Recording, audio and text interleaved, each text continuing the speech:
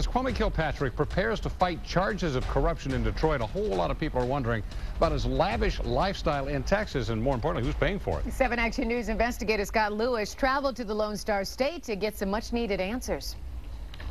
I've made the difficult decision, I believe the most difficult decision of my life, to step down as mayor of the city of Detroit.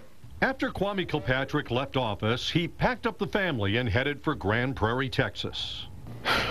you know, throughout the turmoil of 2008, not just in the city, but me and my wife, um, we wanted to find a place where we could heal. Kilpatrick says he decided on the Lone Star State after he and his wife sought counseling from Texas preacher T.D. Jakes. Texas is a place where a lot of people come for a new start, and so do we. A new start and some privacy. Kilpatrick can't walk a block in Detroit without a handshake or a shout out.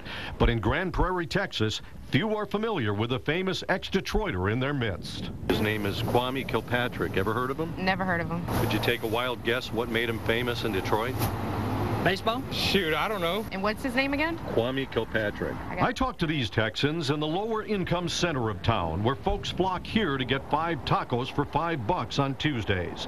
This is Kilpatrick's side of town, the outer fringes of Grand Prairie, where new subdivisions have popped up like desert wildflowers after a spring rain. Fashionable homes made of brick and stone and sprawling new schools. Some sections are a bit hoity-toity, and therein lies the controversy for Kilpatrick. When he was in prison, his wife and kids lived in this somewhat modest home, but after his release, the family moved into this 5,000 square foot house, paying 2,600 bucks a month in rent. At the time, Kilpatrick was paying nearly twice as much for cable and internet as he was paying in restitution to Detroit. Prosecutor Kim Worthy ripped off this letter to the Corrections Department, accusing Kilpatrick of living a lifestyle that exceeded his reported income. She claimed Kilpatrick was, quote, once again hiding assets. Worthy claimed Kilpatrick was spending 2000 more a month than he was taking in.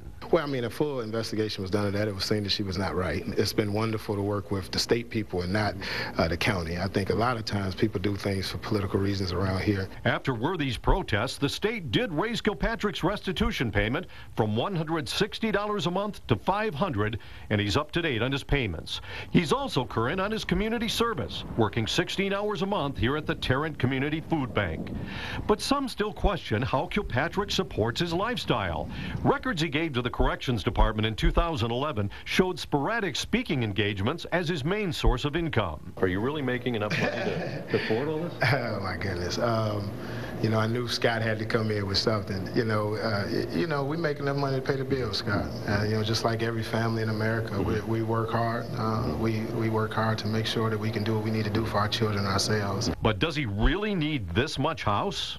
5,000 square feet, 2,600 bucks a month?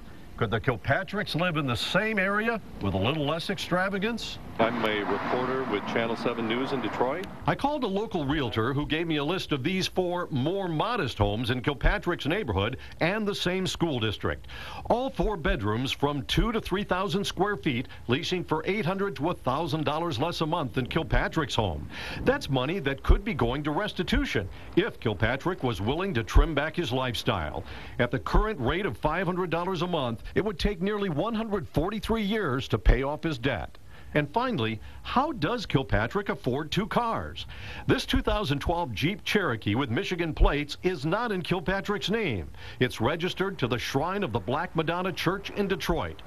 That's something the ex-mayor doesn't want to get into. What's the arrangement? Are they helping you out with the car? Can you tell us? Uh, well, you know, uh, I don't think that's any of uh, the, the city's business. Uh, you know, everything that I do, everybody knows about, and we'll keep it like that, Scott. I mean, uh, I could tell you this, uh, we get a great deal of help from a lot of folks because they know it's a struggle. Well, Scott Kwame says he's making enough to pay the bill. So what about Carlita Kilpatrick? Is she working at this point, helping out? Well, that's not really clear. At one point, Kilpatrick told corrections officials in an email that his wife was working, but he didn't give any specifics, and I found nothing in his parole file showing an income from Carlita Kilpatrick.